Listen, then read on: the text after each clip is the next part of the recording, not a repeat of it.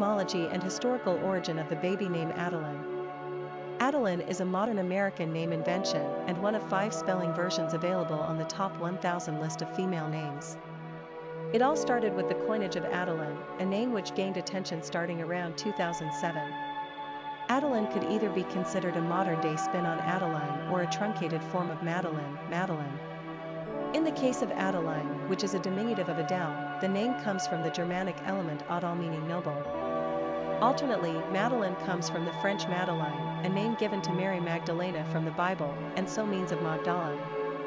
Given the current popularity of Madeline slash Madeline in the United States, it seems clear that Adeline found her inspiration from Madeline rather than Adeline, also because Adeline is pronounced Adeline rather than Adeline.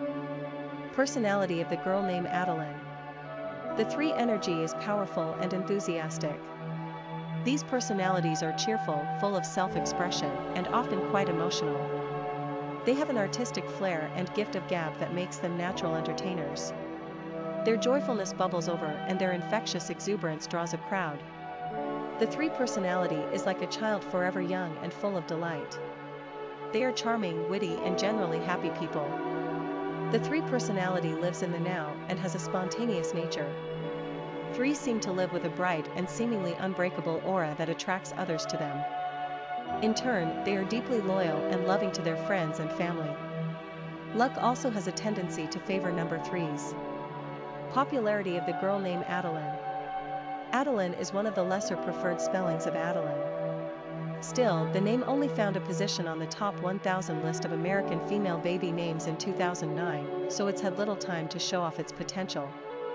We will say this, Adeline and Addison are hyper-trendy baby girl names in the United States right now, and both have multiple respellings adding to the already competitive landscape.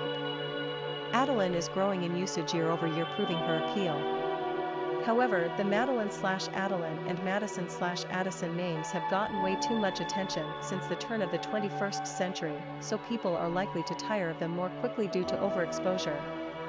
Not to mention there are so many mutations of all of these gals that children with such names will be forced to go through life constantly repeating the creative spelling of her name. Most people find this to be a nuisance, so it's something to think about. Quick facts on Adelynn. Gender, girl. Origin, American. Number of syllables, 3.